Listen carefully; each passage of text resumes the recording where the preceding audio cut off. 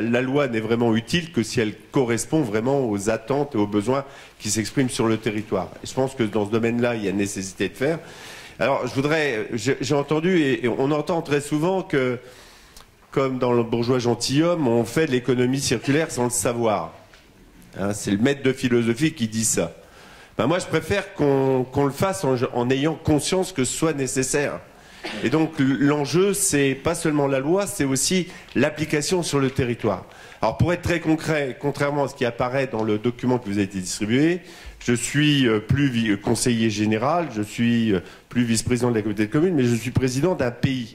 Pays qui regroupe cinq communautés de communes et qui vient de se transformer en pôle d'équilibre territoire rural.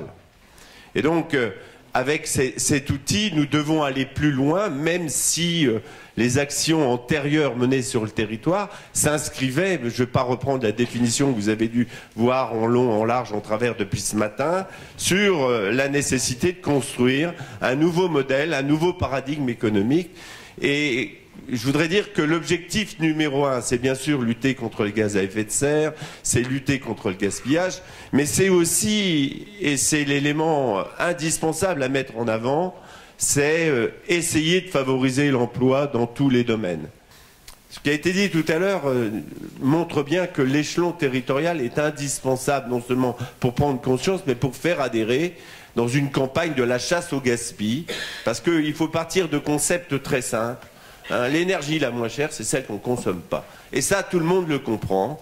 Et donc avec, euh, bien évidemment, des objectifs de réduction énergétique dans l'habitat, réduction de l'énergie également dans les transports, euh, le covoiturage, les, voitures électriques, le, maillage euh, des, des, bornes, le vélo électrique, le développement des énergies renouvelables, avec les agriculteurs. Le territoire rural repose sur l'agriculture.